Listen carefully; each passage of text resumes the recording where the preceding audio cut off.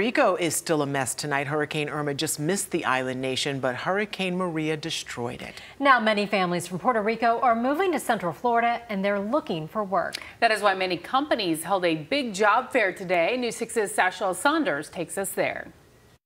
This would have been your typical Florida job fair, but then Hurricane Maria came and those who are now desperate for work.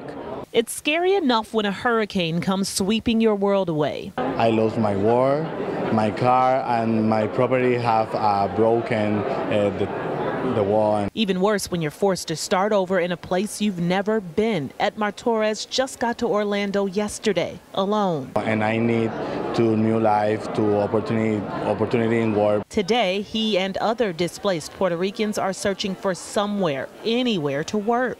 It is scary because I'm starting from zero. I did have my job. I am a secretary in the courthouse. And basically, I'm just looking for anything I could get right now. Many of them were directed to this job fair at Doubletree through Job News USA. 30 companies, thousands of opportunities, some seasonal, some permanent. There's literally thousands and thousands of jobs, everything from part-time to full-time, white collar, blue collar, uh, and it, just about anything in between. But still uncertainty and even more people on the way hoping for opportunity in Central Florida. This won't be the only job fair. They plan to have another one in November. For more information, head to our website, clickorlando.com. Reporting in Orlando, Sashel Saunders, News 6. And for more details about the companies that are hiring, go to clickorlando.com. We posted the details inside the story on our homepage.